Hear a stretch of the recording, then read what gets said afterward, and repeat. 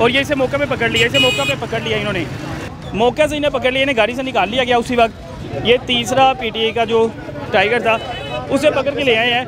आप देख सकते हैं कि पीटीए का जो कारकुन था यहाँ पर जैसे ही इमरान खान का बताया गया कि इमरान खान को रिहा कर दिया गया, जैसे पी पीटीए कारकुन यहाँ पर आता है और पुलिस वैन की तरफ़, यानी प्रिजनर वैन की तरफ़ उसे लेके जाया जा रहा है। अगर कैमरामैन मेरा दिखाए कि बिल्कुल वो देखे, वो अंदर दाखिल कर दिया गया उसे।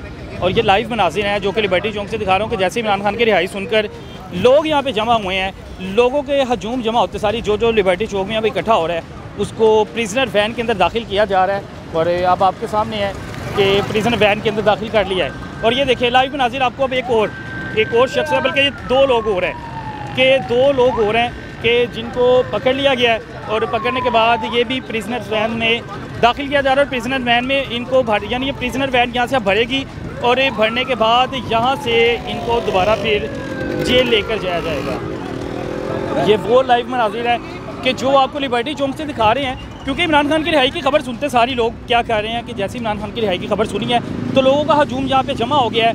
ए, पहले पुलिस की सिर्फ़ नफरी यहाँ पे तैनात थी। जैसे ही पुलिस की जैसे ही खबर मिली है कि इमरान खान को रिहा कर दिया गया है पुलिस की नफरी के साथ साथ आप देख सकते हैं कि रेंजर्स ने भी अपना चार्ज संभाल लिया है। रेंजर्स भी इस वक्त बड़ी तादाद में मौजूद है यहाँ पर।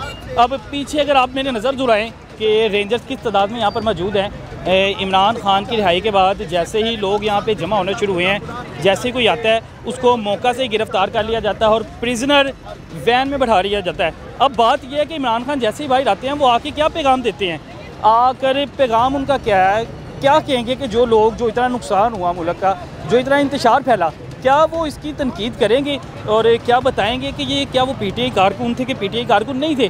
अब ये तो बाद में पता लगेगा, लेकिन इस वक्त आपको लाइव मनाजिर में दिखा रहा हूँ कि जैसे जैसे ही यहाँ पर इमरान खान की रिहाई की खबर सुनकर लोग आ रहे हैं, जैसे ही उनका हजूम जमा होता है पुलिस यहाँ पर मौजूद है पुलिस उसे मौका पर पकड़ दिया और पीछे आपको बात दिखा रहा हूँ कि प्रिजनर वैन है प्रिजन वैन है कि जिसमें सात ही लोगों को दाखिल किया जा रहा है। इस वक्त हमारे सामने तकरीबन सात के करीब लोग जो है लिबर्टी चौक से अरेस्ट कर लिए गए हैं पीटीआई के। वो कारकुन जो कि इमरान खान की खुशी का, इमरान खान की रिहाई की खुशी का जश्न मनाने आए थे, उनको मौका से यहाँ पर गिरफ़्तार कर लिया गया। और बताया गया कि यहाँ पर जो भी पीटीआई का कारकुन आता जाएगा, उसको मौका से गिरफ़्तार कर लिया जाएगा और उसको प्रिजन वैन में बैठाकर ले जाया जाएगा। अच्छा जी, अब आप देख सकते हैं कि जैसे ही वहाँ पर पीटीआई की कारकुन की गाड़ी गई है और कारकुन की जो गाड़ी है वो अब आप देख सकते हैं कि उसने भी झंडे लगाए हुए थे उसके पीछे साथ ही डी पी के पी की गाड़ियाँ उसके पीछे चल गई हैं और उन्हें निकाल रहे हैं। अब आप देखें ये कारकुन है